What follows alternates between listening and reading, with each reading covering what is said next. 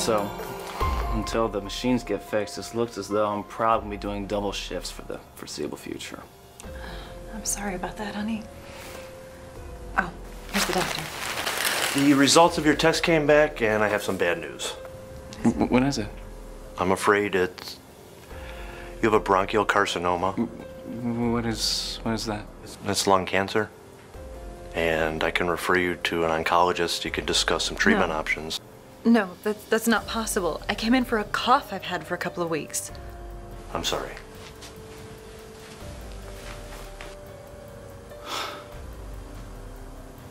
I can't do doubles with you like this. I mean, that would just be stressful enough at my work, and and how are the kids gonna react? You don't deserve this.